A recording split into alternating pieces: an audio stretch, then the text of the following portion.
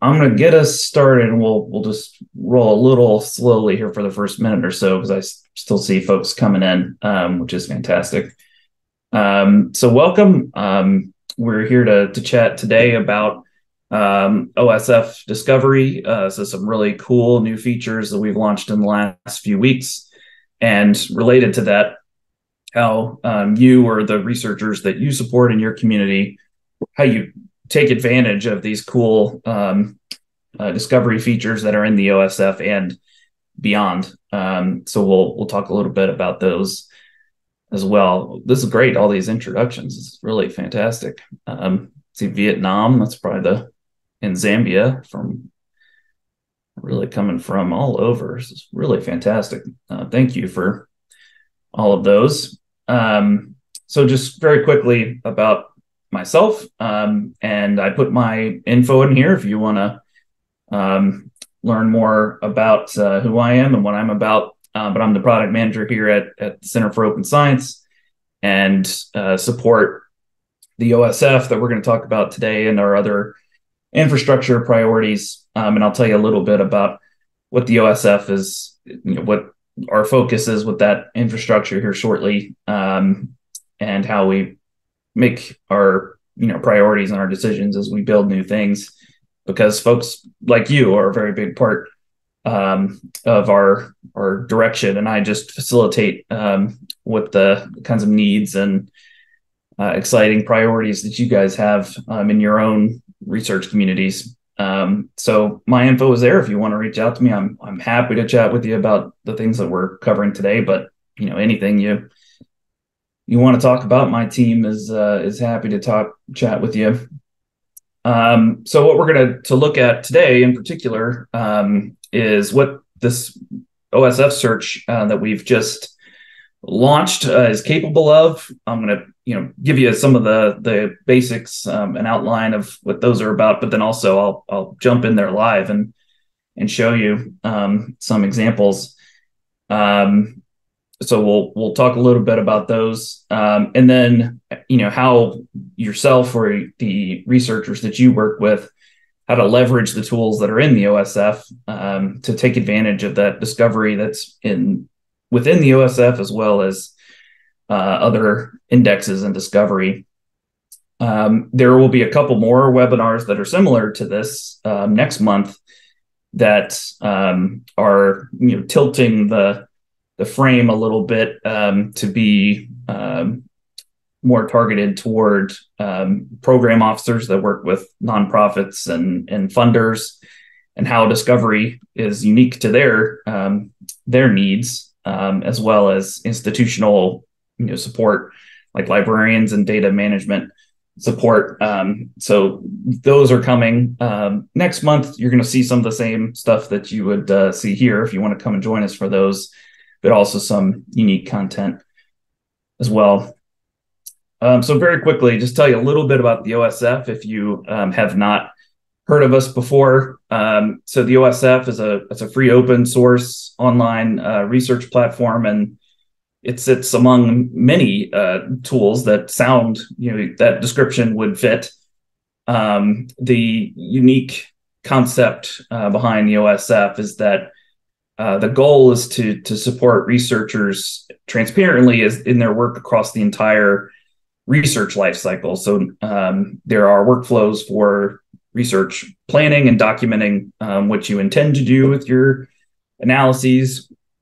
Um, and then uh, for data, active data management and collaboration, and um, work with your uh, research teams. And then um, you know sharing your your outputs in a number of ways: data archiving and sharing, uh, preprints, and other methods. And then finally, being able to report those and make those visible and available for your institutions and your communities and other other kinds of communities um, in multiple ways.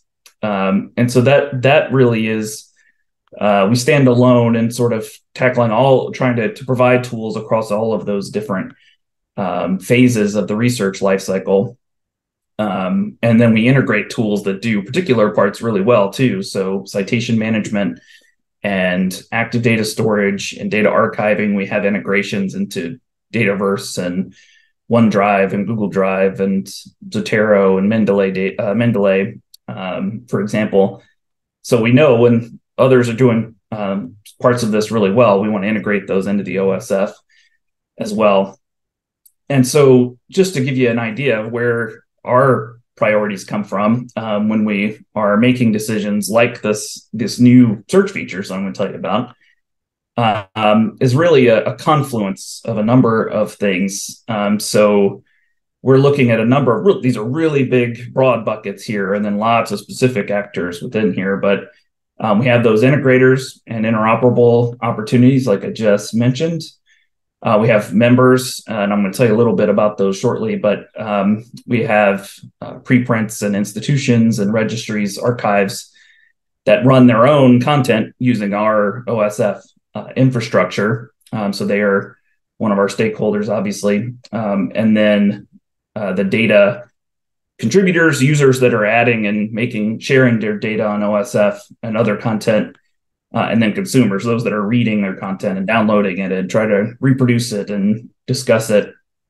And when you sort of look at the the dialogue between all of these different groups, um, that's really where where we're trying to make uh, decisions and priorities on how we continue to improve the OSF um, rather than us taking a guess at what you guys need and um, and putting that out there and just seeing what happens. Uh, that really is not our our approach at all. Um, we this is a constant conversation across these groups, um, and then building the OSF toward where those needs are in these broad um, communities. So you'll see some of some examples here in, in uh, the search project that we've just launched. Um, and I didn't include here some um, screenshots of the old search, but if you have used the OSF prior to a few weeks ago, um, search had a number of of barriers, and um, I'm actually going to ask you to use the chat here while I'm chat or while I'm covering this. So tell me a little bit about um, some of the barriers, just in a sentence or two in the chat. What are the frustrations or barriers or um, complaints that you have on just research discovery that not on the OSF in particular, although if you have uh, criticism of OSF search, I can take it. Uh, please do share it. Um, but just generally, you know, in a sentence, in a phrase, what is it that's um, you know causes frustration for you when you're trying to discover research content.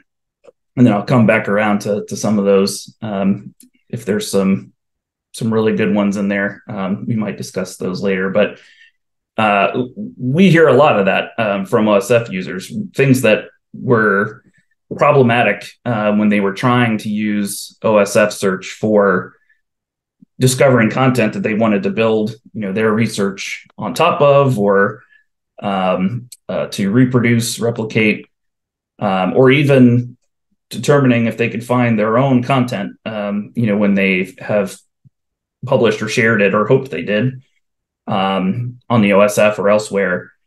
And so we, you know, we're taking in years of data about um, the, the search experience, the discovery experience on OSF, and we had several interfaces, all of which um, really didn't make it uh, as easy as it could be for researchers to take advantage of, of critical uh, features for research discovery.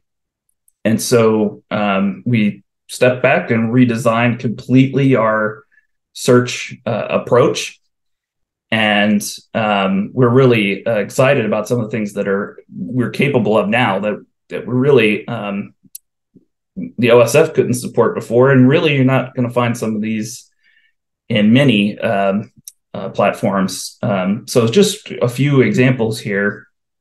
Um, so obviously, the being able to start with searching for a, a phrase, um, you know, you would hope that any search is going to have something like that. Um, and OSF search is going to um, will take those in and find not just that exact term, but if there aren't many matches for that, you know, that exact word that you're searching for, it will try to um, find similar terms for you as well, much the same as um, uh, you know Google or other search engines will do. Um, we included some of the basic wildcards. There's there's a whole world of wildcards out there, um, but we included some of the really commonly used and requested ones like quotations to have an exact phrase or to uh, um, a minus to exclude something from uh, your results. Um, and then some OSF in particular uh, um, context like the content type within the OSF. So just one workflow, you can isolate just those. And then some really neat stuff that uh, you're not going to find in a lot of other places, but are enabled here on the OSF. Um, so you can filter by the funder uh, that supported the research. That's reported by the uh, the researcher on their content, um, but could be really, really useful um, to be able to filter down by that content and see as you're pursuing a grant from one of the NIH institutes, you could find uh, content on on OSF that's supported by that exact funder. Um, so it could be very useful. Um, filter by an institution that's has uh, affiliates on that content um, so that is based on our OSF institutions features, but that's all available as well. Um, you can filter by the, the providers, those those community service providers that we host on the OSF. You can filter by just some of those particular providers. Um, and then even connected resources, so not even the um, phrases and metadata that's on one particular source, but things they've connected to um, and indicated they have relationships to, so like connected data and code and other resources. All of that um, you can filter by and in any combination. So um, you know you can find a particular OSF you know registration that has connected data and funded by the NSF. Like that's a combination that you could um, take advantage of. Sorry about the barking dog in the background move forward here. Um, and I'm just going to give you a little um, outline tour here, and then we'll we'll jump in and actually look at the search features themselves. Um, I'm just following some of the chat items, some interesting additions in there.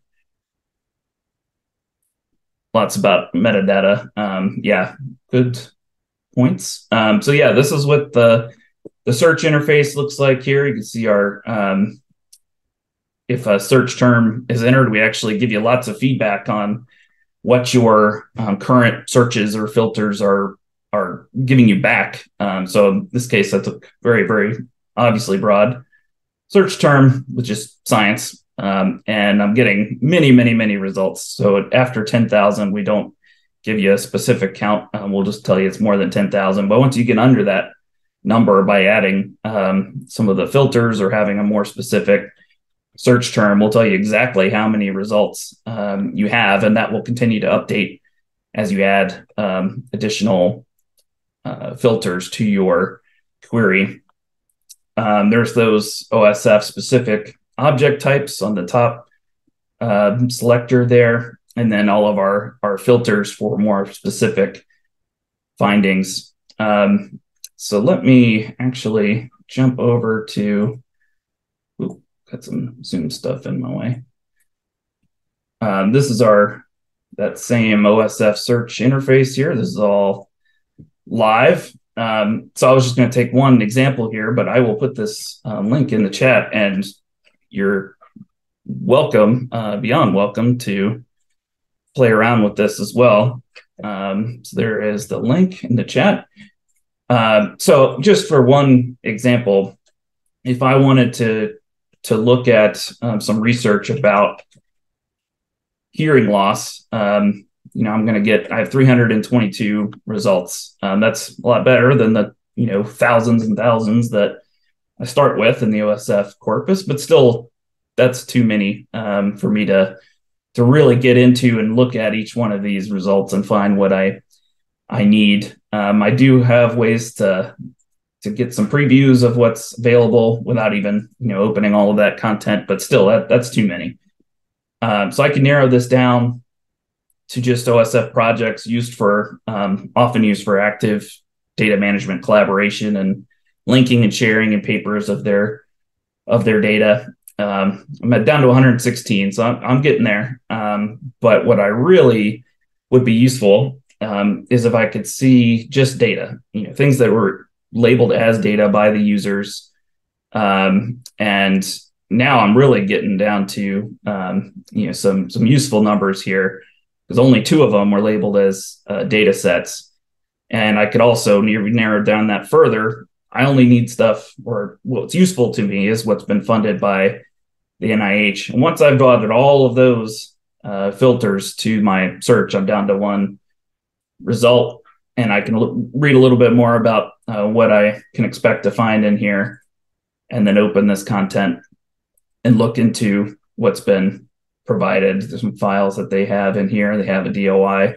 We'll talk about, about those in a minute. But um, yeah, so any combination of all of these uh, filters is what um, what you have available to you in this OSF search, and you can always kind of reset and um, and try these. You know, again with different filters if you're not finding quite what you want by just removing the the breadcrumbs there.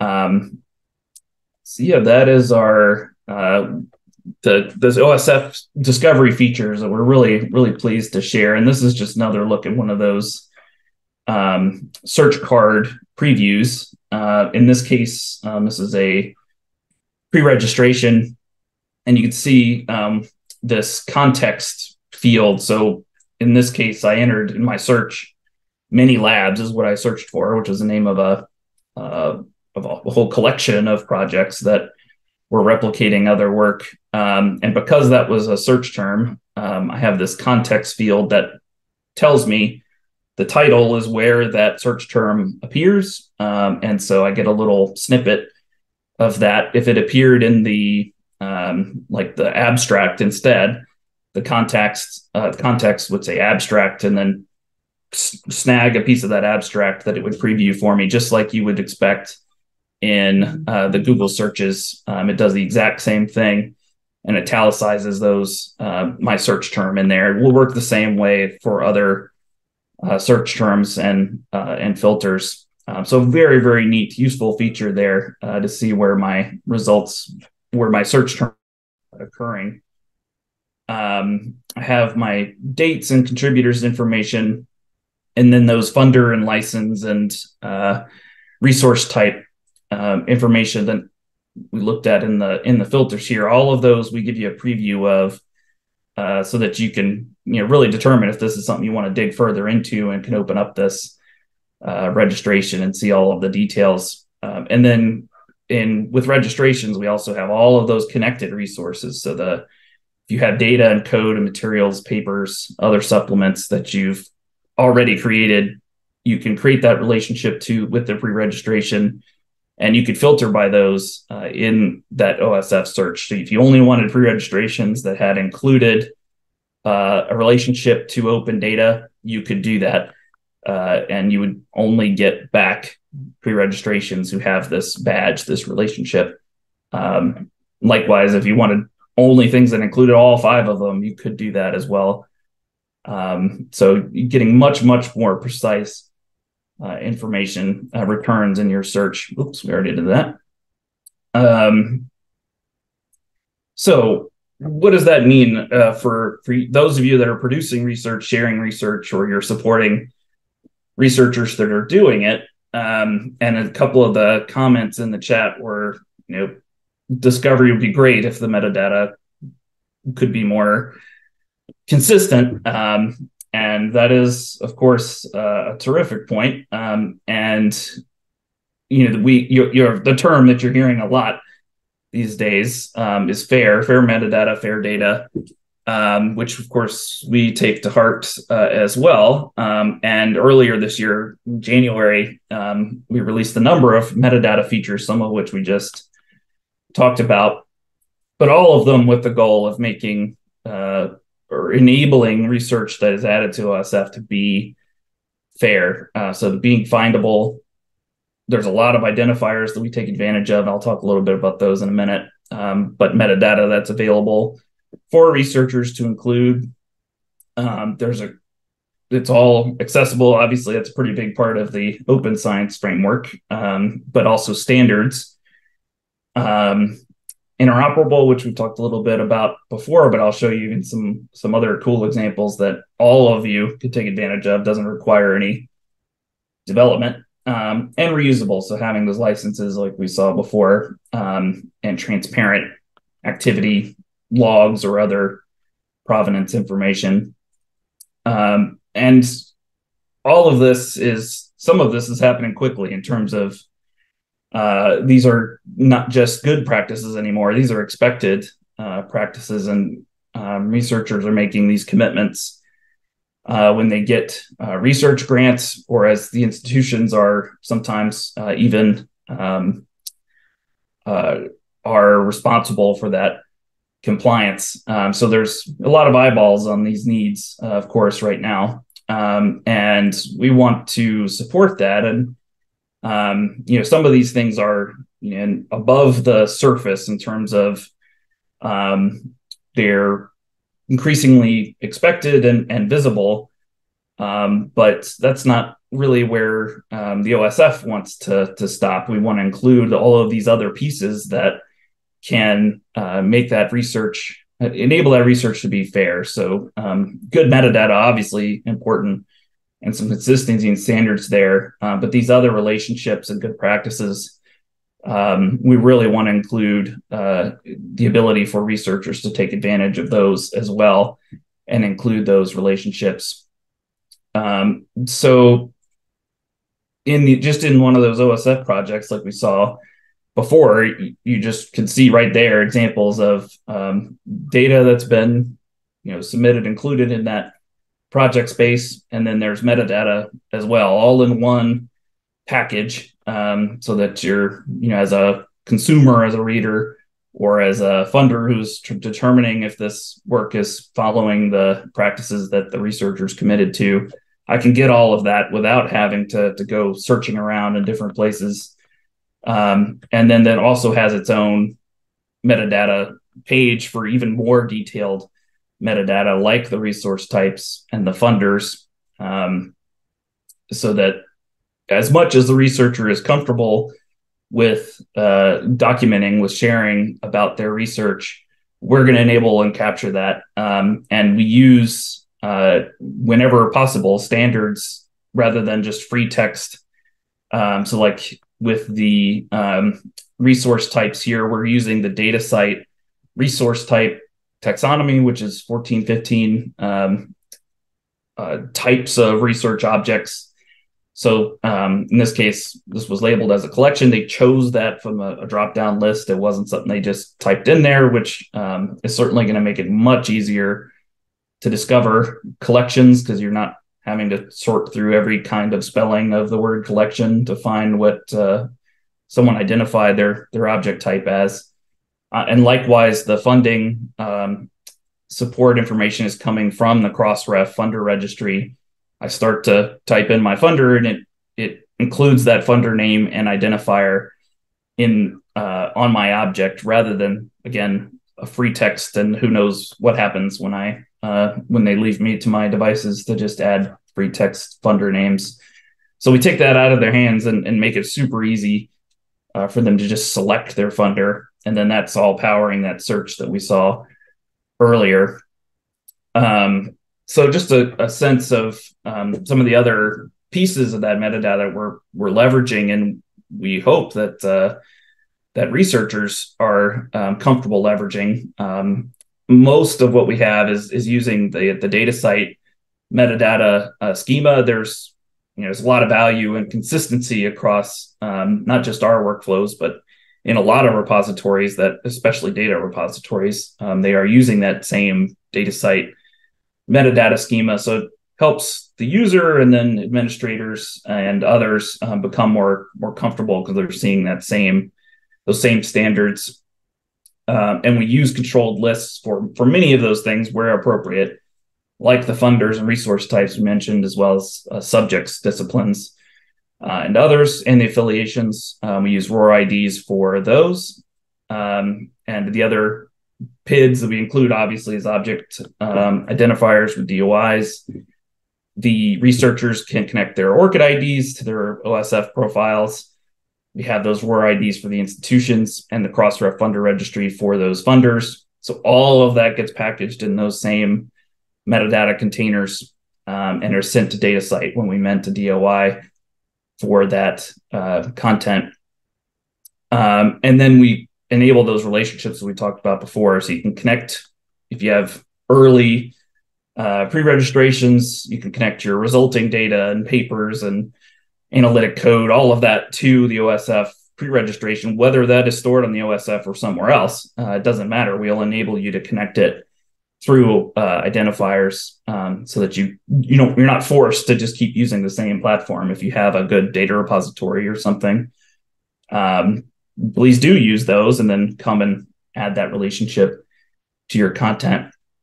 Uh, and then we have an application profile just for metadata um, the osf map uh, which outlines all of these standards. So uh, you know the the big part of um, accessibility and and consistency is that we can document everything that we're doing um, with our metadata. And so there is a public OSF map uh, specifically for that. And you can even add all of these kinds of details. You can add to all the way down to the file level as well. Um, if you have unique metadata that you want to include on your files, and all of this is documented in our our uh, help center. Um, so hope you, um, you know, if you want to take advantage of those and get feedback on them, please uh, let us know. Um, but you know what's critical here is that we realize that discovery doesn't just start and stop on the OSF. Um, so we make sure that the metadata that um, we're enabling the researchers to to add to the OSF actually has a lot of value uh, beyond the OSF.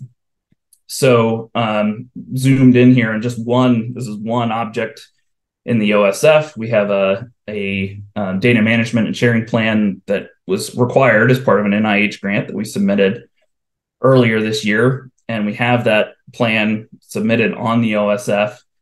And in the metadata here, um, we have uh, Nicole Nikki, who is our um, chief product officer here at COS.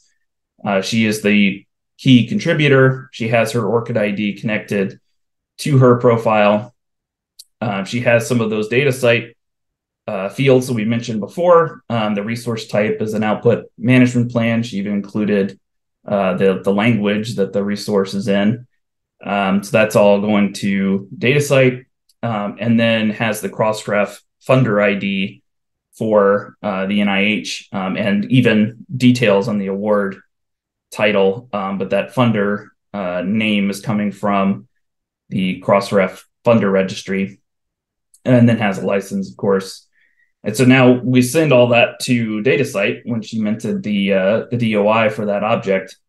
And so we have the uh, license and resource type um, information in here, and uh, Nikki's ORCID ID and her affiliation with uh, the Center for Open Science. That all gets captured by DataCite. Um, the the host um, repository is here, and then that funder and funding specific opportunity are also uh, pulled in. Um, so all of this now is in the DataCite uh, corpus, and because Nikki set up her uh, auto sync with between DataCite and ORCID, uh, she doesn't have to do anything for this opportunity to now be present on her ORCID record. It just automatically syncs to her ORCID record we have documentation up um, on the help guides on how to set up that sync, um, but it can be super useful as a researcher uh, to not have to come and update all of this uh, your ORCID record manually, and that's not what they want you to do either. They really want these relationships set up so that it's um, uh, adding to your record automatically. And so this is one example of of how valuable that can be, but um, setting up that auto sync between DataCite and ORCID you'll get a lot of your content added to your ORCID record without ever having to to think about it. Um, and you can always come back and hide those or remove them if you if you really needed to, but um, they'll be added to your ORCID record automatically and have that metadata, that key metadata that was submitted in this case to DataCite from OSF will be present in there as well. Uh, and then I added just here, just to um, show you the representation in the OSF itself. So outside of the OSF and in the OSF, we can use those same filters we talked about before. Um, in this case, the resource type and the funder, and that gets me down to um, uh, Nikki's submission here and the preview of some of the things that are in that project. Uh, and just to give you a sense of all the things that are happening when um, in that same workflow, um, this is you know kind of a um, silly animation here, but the the idea is that um, as you or your colleagues are submitting an ORCID record, or excuse me, a piece of content to the OSF, um, you can include your ORCID IDs by syncing those with your uh, OSF profile. And so we take that information about you and the institution that you're part of. And um, as we're minting that DOI for that piece of content that you submitted, we take all of that, those identifiers, uh, we bundle it up, submit it to DataCite. Uh, and when they mint that DOI, the info gets back to your ORCID record. It has all those same identifiers in it. Uh, they also go if you use some of our um, if your institution uses some of our institutional tools, it'll populate in their uh, reports and in their interfaces, and then it's available by way of that same ROR um, institutional identifier uh, as well. So now it's appearing in many, many uh, places without even a specific other indexes pop, uh, grabbing those up, even though many do grab OSF content um, and share those in their indexes. Um, but they're already now in the DataCite and in the ROR Uh, they're available by querying those IDs uh, and your ORCID IDs. Um, so just by starting to include those identifiers when you have the opportunity and your funder identifier being another one, um, the uh, amount of ways that your content can be discovered and the relationships that are available in there uh, exponentially grow very, very quickly. Um, and so the search in the OSF is just one place where it becomes much easier to, um, if I'm looking for things that were funded by the same funder that your work was supported by, or I'm looking only for data sets and your work is a data set that's labeled as such. Um, the data sets also get picked up by the Google Dataset Discovery is just one more example. If you had those those metadata um, to your your content, um, so you know, a few minutes when you're you're preparing your data to add that extra metadata. These are all of the advantages that come with that. Um, so really, really worth uh, spending that time. Um, there's some cool stuff that's coming pretty soon um, on uh, both the search front and the metadata front. Um, on search, those same features are going to be added to some of those community operated spaces like the institutions and preprints spaces. Um, and then also those you know once you're adding all of those filters to your searches um, will give you a, a, url that you can use. So you could have a very complex set of of, um, of filters take the url and just hang on to it. And then every time you click that it'll populate those same filters so that you could get you know that set of results. So if you only wanted content from one institution that's a particular um, resource type and from a particular funder, if you wanted all of those to be the presets, you would just take that URL and just up, you know, click on it it'll update for you. Um, so really, really neat, nice little feature that's coming um, at the end of this month.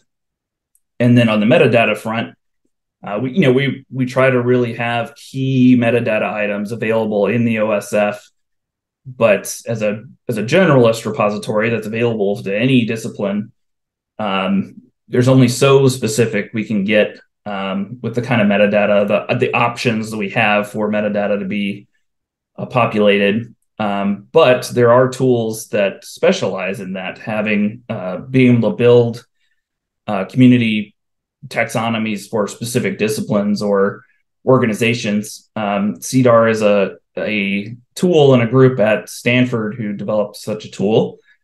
Um, and uh, one piece that they have is an embeddable uh, editor where, you know, if um, COS were to develop some kind of specialized uh, psychology um, metadata taxonomy, then we could build it in CEDAR. We would have it enabled in the OSF, and you would fill out your general, you know, metadata still, but then I could pull up this very specialized uh, form by way of this this CEDAR integration, and this can have a much much different um, uh, metadata taxonomy than what we generally capture. Um, can be much more specific, um, and uh, you know we can work with organizations and with disciplines subjects uh, to integrate their their taxonomies into the form so that um, anybody can choose from one of those taxonomies fill it out and we would populate that metadata into their uh, osf content and then it's searchable and findable in a similar to the way that our, our general metadata are um, so we are working on this project right now um, and hope to, to be able to make this available in some of these um, uh, meta or some of these taxonomies available by the end of the year. Um, but this is very much in progress. So if you want to come and chat with us about it, uh, please do because uh, we're we're really excited about this work. So yeah, I mean the the takeaway is um, uh, if you want to take advantage of all these cool discovery features that are available not just in the OSF, but um, outside of the OSF and many, many of the, the largest, most expansive indexes of research. Um, you know, the key is, as was pointed out in some of the comments earlier, is um, be consistent about adding metadata to your work. We're we're trying to make the um, to use standards in such a way that um, if you take that time, it won't it won't get too messy because we're we're using a, you know a very specific standards to identify what your resource types are and who your funder is and who your institution is. Um, so it, it can't get too uneven. Um, but the more you can include, typically, the the better um, as far as the discovery goes.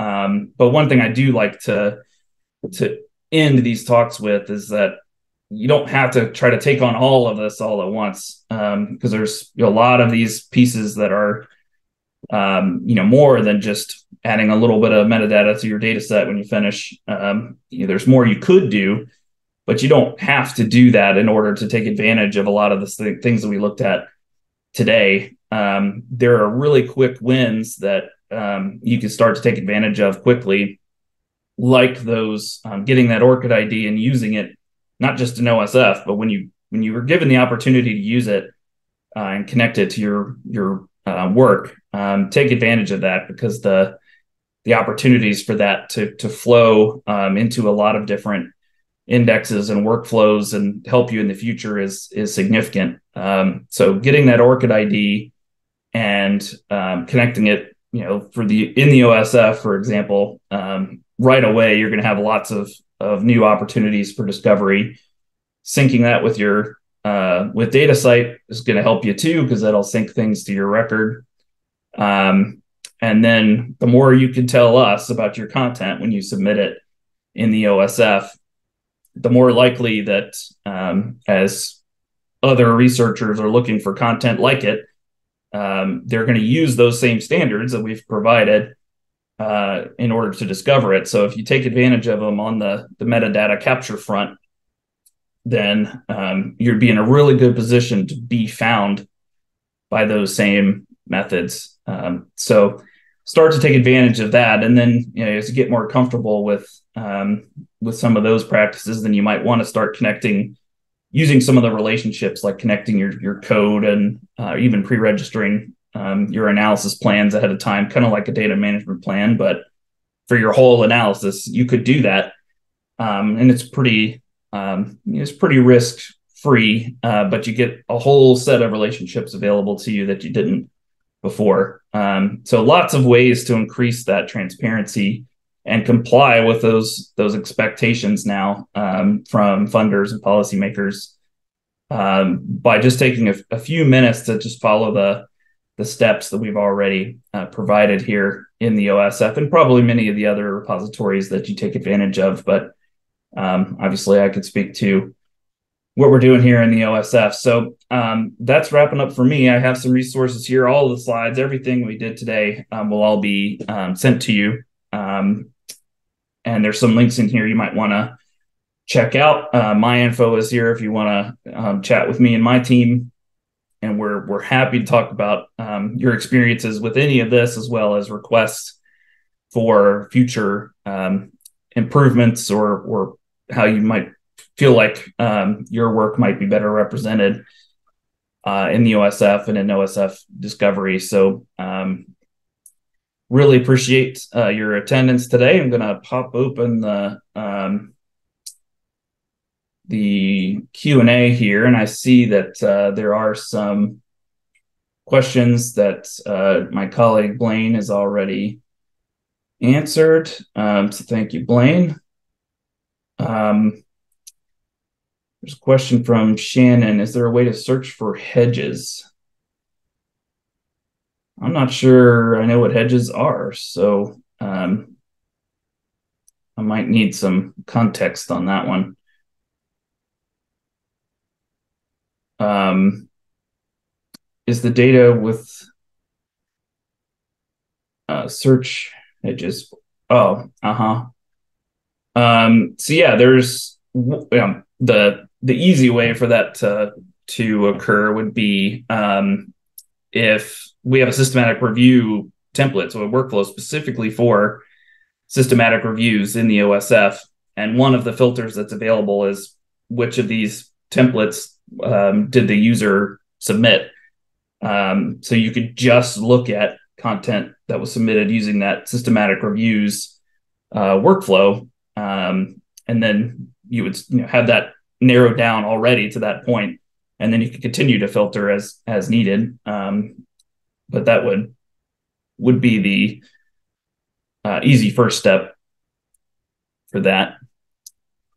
Um, there's a couple of questions in the chat as well. So um, Manosha asks how how are how to get peer review um, done on, on OSF. So um, some of the providers uh, on OSF, some of the, the registries and the peer uh, preprint providers that are run by other communities on the OSF, um, they have moderation. So it's it's peer review in the purest uh, sense that, or you know, a peer in your same discipline um, is reviewing and approving or not um, your content, and that it would appear in their service. Um, so that's one example, um, we also have registered reports workflows, which is a alternate peer review method where um, you would submit information about your study before you go off and write a paper, um, and journals that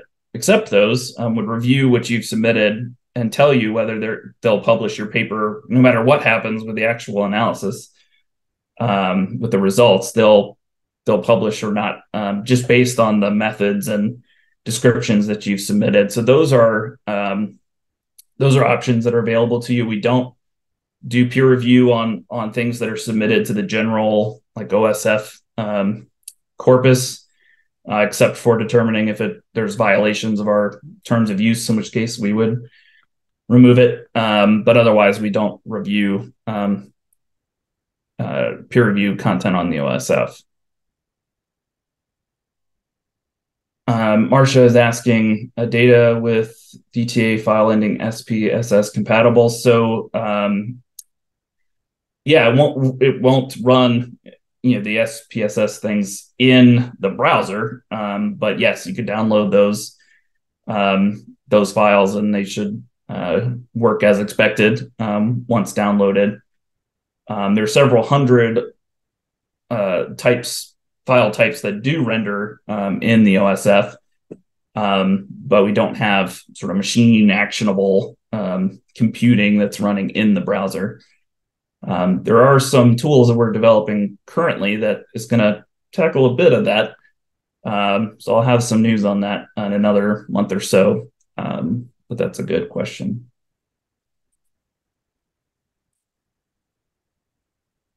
All right. Any other questions? We're right about at time. Yeah, thank you. Thank you all. It's really terrific questions and feedback. Thank you. All right. I think we will wrap up then, but please do reach out if you have any other requests or questions, and you'll get some uh, you'll get resources from the session today, um, uh, probably tomorrow. So uh, keep a lookout for that. And I hope to hear from you. Thank you.